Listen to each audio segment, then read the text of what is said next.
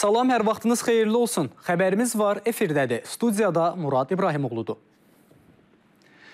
Biləsuvarda Heydər Əliyev prospekti 5 ünvanındakı çoxmərtəbəli yaşayış binasında baş verən partlayışda bir ailənin iki üzvü ağır xəsarət alıb. Bir nəfər isə həyatını itirib.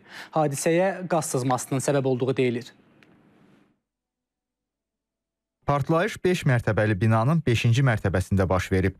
Kirayədə yaşayan Biləsuvar rayon sakini Günay Əliyeva iki övladı ilə mənzilə daxil olub. İşığı yandırdıqdan sonra yanğınla müşahidə olunan güclü partlayış baş verib.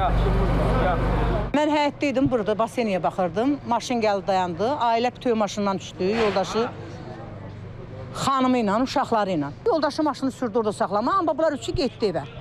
Mən də çıxdım, getdim o böyrə, həyətə. Ani moment partlayış oldu. Hadisə yerinə Fövqəladə Hallar Nazirliyinin Muğan Regional Mərkəzin xüsusi xilas etmə hissəsinin əməkdaşları cəlb olunub. Onlar ilk olaraq dağıntılar altından ailənin övladları 10 yaşlı Yusif və 14 yaşlı Fərqanə Əliyevanı çıxarıblar.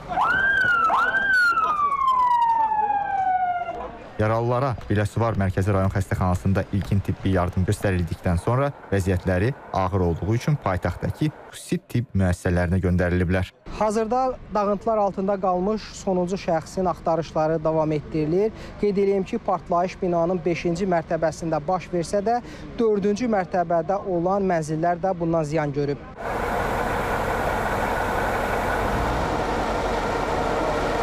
İlkin ehtimala görə e, qaz sızmadan baş vermişdi. Bizdə olan məlumata görə hadisə e, deməli mətbəxdə baş verib. Hal-hazırda biz e, uçqun yerində 2 dəfə, 3 dəfə sakit sadə eləmişik. Hal-hazırda təmas qura bilmirik.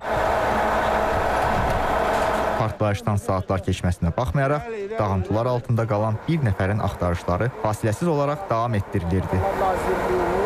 Gecə saatları olmasına baxmayaraq dağıntılar altında qalmış bir nəfərin axtarışları davam etdirilir. Elə bu məqsədlə əraziyə qaldırıcı kran da gətirilib.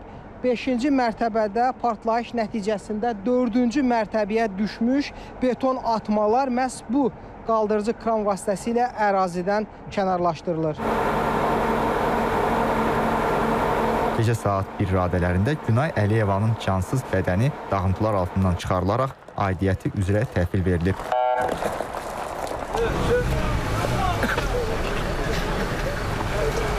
Binada yaşayan 37 ailə təxliyə olunub. Onlara rayondakı Olimpiya İdman kompleksində müvəqqəti sığınacaq təklif olunsa da, onlar bundan imtina edərək qohumlarının evlərinə sığınıblar. Faktla bağlı Biləsuvar rayon prokurorluğunda cinayət işi başlanılaraq ibtidai istintaq aparılır. Rəhman Məlikov, Anar Abbasov, İTV Xəbər, Biləsuvar.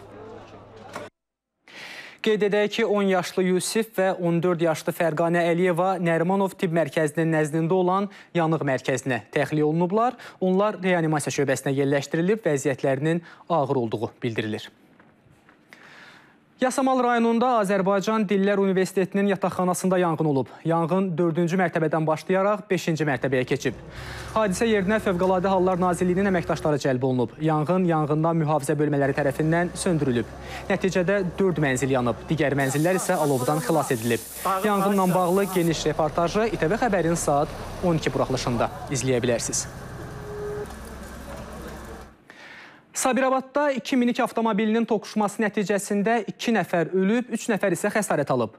Hadisə Hacıqabul Bəhrəmtəpə magistralının Nərimankənd kəndinin ərazisindən keçən hissəsində baş verib.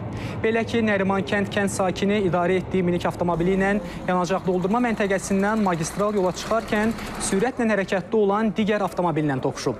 Zərbənin gücündən təxminən 30 metr kənara düşən avtomobil yanmağa başlayıb.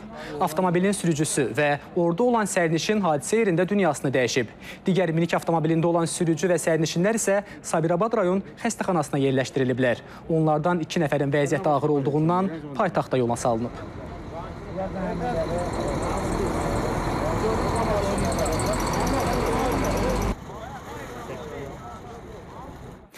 Belə dəyərli izləyicilər, xəbərimiz vardan bu saatda bu qədər. Efirimizi isə həmkarım Aydın İsmailovun təqdimatında İTV Xəbərin 12 buraxılışı davam etdirəcək. Aydın, hər vaxtınız xeyir olsun. Hər vaxtınız xeyir olsun Murad. Buyurun, söz sizdədir. Təşəkkür edirəm.